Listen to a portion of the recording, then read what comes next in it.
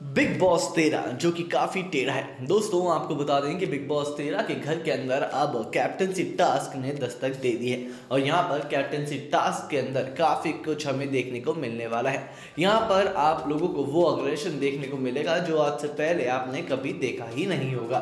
जी हाँ दोस्तों, हम बात कर रहे हैं यहाँ पर शहनाज गिल के अग्रेशन के बारे में, जो कि अब तक आप लोगों ने इतना नहीं देखा होगा। बट इस बार शहनाज काफ़ी ज़्यादा गुस्से में हमें नज़र आई है और साथ ही में आपको बता दें कि कैप्टनसी के लिए वो काफ़ी अच्छे तरीके से और काफ़ी ज़्यादा एनकरेज होकर काम कर रही है और इस टास्क को पूरा कर रही है। पहले बात कर लेते हैं इस टास्क के बारे में कि आखिर ये टास्क है क्या। यहाँ पर सभी दावेदारों को, जो कंटेस्टेंट है, उनको मांस जो ग्रह बना दिया गया है घर के अंदर, अब उसमें से पानी निकाल कर अपने अपने कंटेनर्स में सेव करना है और जिसका कंटेनर काफ़ी ज़्यादा भरा होगा, जिसका कंटेनर में सबसे ज़्यादा पानी होगा, वो इस टास्क को जीत कर कैप्टनसी का दावेदार बन जाएगा। लेकिन यहाँ पर बात ये है कि इतना इजी टास्क बिग बॉस कभी नहीं देते हैं।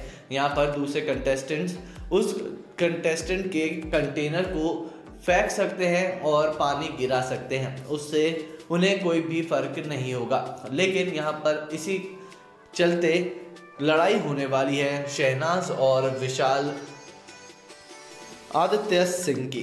दोस्तों, आपको बता दें कि यहाँ पर बात आती है कि सभी लोग अच्छे तरीके से पानी इकट्ठा करते हुए नज़र आते हैं।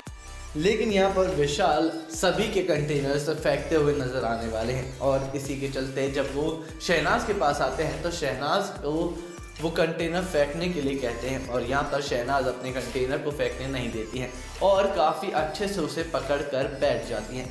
लेकिन विशाल इतने ज़्यादा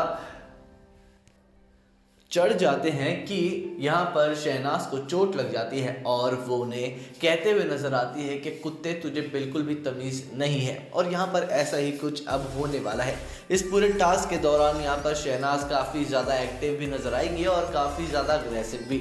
और इसी के चलते यहाँ पर अब शायद काफ़ी ज़्यादा दिक्कतें आने वाली है विशाल को, क्योंकि विशाल के अगेंस्ट यहाँ पर शहनाज खड़ी हुई नज़र आ रही है, और वो जब उन्हें काफ़ी ज़्यादा इरिटेट करती है तो विशाल का मुँह देखने लायक होता है। आपको क्या लगता है दोस्तों कि इस बार क्या शहनाज कप्तान बन पाएगी या नहीं? कमेंट करके ज़रूर बताइए और सब्सक्राइब करना ना भूलिए हमारे चैनल खेलो खेलो को, ताकि आपको मिलती रहे ऐसे ही बिग बॉस के हर अपडेट सबसे पहले।